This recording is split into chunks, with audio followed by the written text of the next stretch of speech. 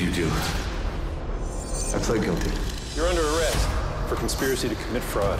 I am not letting you go to prison for a crime that I committed. What about me? All I did was love you. I'm on to you. Mike Ross never went to law school. Am I fired? You should be. You're lying to me. I will become the best lawyer you have ever seen. Okay, hotshot. I made a decision. I can't go back in time and change it.